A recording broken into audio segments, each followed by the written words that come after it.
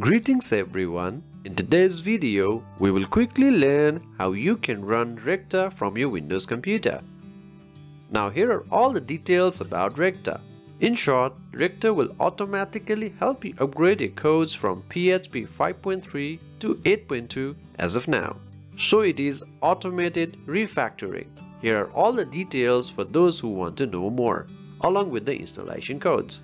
And you can also explore Rector rules to understand what codes will be updated. Anyway, now to use this on your PC, we need a couple of softwares. So let's download them all. First, we need to download PHP. Go to php.net slash downloads.php. Current stable version is this one. Click on Windows Download and download the zip file. So this is the current release. 8.3 for now is not released. So let's download the zip file. So it has been downloaded, show in the folder. So here is the file. However, before extracting it, let's also download other software. Let's close this. Now we also need a composer. Go to getcomposer.org slash download and simply download and run this. So it is done. Now the final software we need is 7-zip. Go to 7-zip.org and download as per your requirements. So all of these files have been downloaded. So here are these three files to run Rector on your PC. First, extract these PHP files. Please do this before running the composer. I will extract these to the desktop. Let me create a folder PHP. Extract to PHP folder. So the file has been extracted. Open this PHP folder. We need to change this PHP ini-development name. Simply remove the development from it. Yes. So it has been done. Now, we also need to add this path to environment variables. Copy this. On the start menu, type environment variables and click on this system environment variables.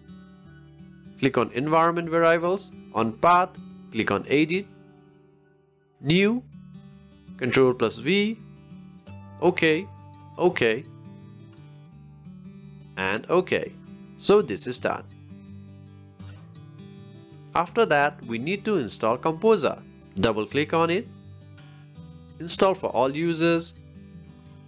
Please note, you must first extract this PHP file as Composer will auto-detect the php.exe link. Anyway, now finish the installation.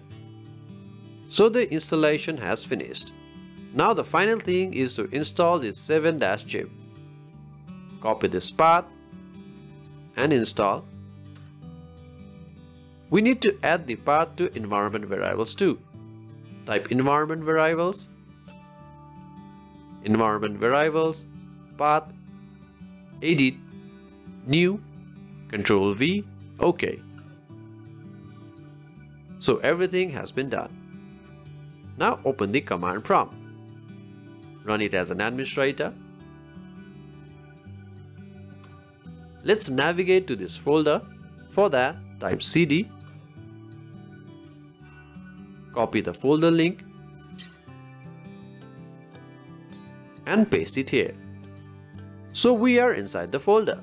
Now check if PHP has been properly installed or not. Simply type php-v. If this shows the PHP version, it has been successfully installed. Now let's run some commands. Let's run this composer command. Copy it paste here and enter. Now this will take some time as it will download some required files. So it is all done and we will be using this Rector version. Now let's create a rector.php file. Copy this code and type php space and paste the code. Make sure to write php in front. Yes and enter so rector.php file has been created. simply go to the PHP folder and you will find the rector.php file here. Open the file. You can use Notepad++ or simply Notepad. I will use a Notepad. We need to replace this code to test if everything is working or not. Copy the code. Replace it here. Make sure to have this PHP at the top. It is done and save it. Now let's dry run this. Type PHP and paste the code. So it is running all good. Now again try to run this. PHP and paste code. So this basically means we have done everything correct. Now to update your old code to newer PHP version, use this code. It will update the PHP version. Simply copy the whole code and paste it to rector.php file. This will update to PHP 8.2. You can change this to as you want, like 8.1 is for 8.1 and so on. Now we need to replace this address with files with old PHP versions. Let me quickly insert a USB drive It has files with old PHP versions. Let me copy this to the desktop.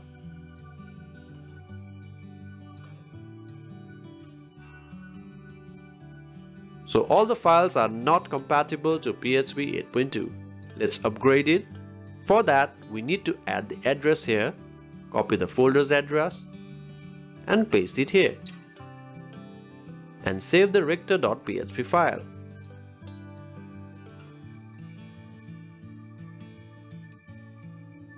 Now we need to run some command. Copy this code, but we need to remove this src. Write php, copy the code, and remove the src. And copy the code and paste it to cmd. Now this dry run will only let you know the files that will be changed. It will not modify the actual files. so 10 files will be changed. If we want to change the codes, then we need to run another command. Copy this code, type php and paste it and remove the src. So this will modify the actual codes. So all the files have been modified.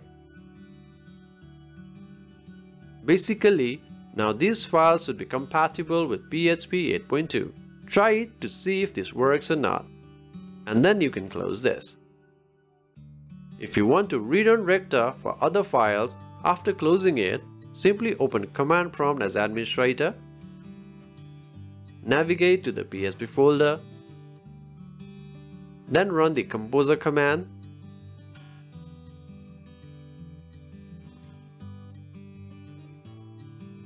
then modify your rector.php file as required and then run these commands without src. We really hope this video was useful to you. Thank you very much.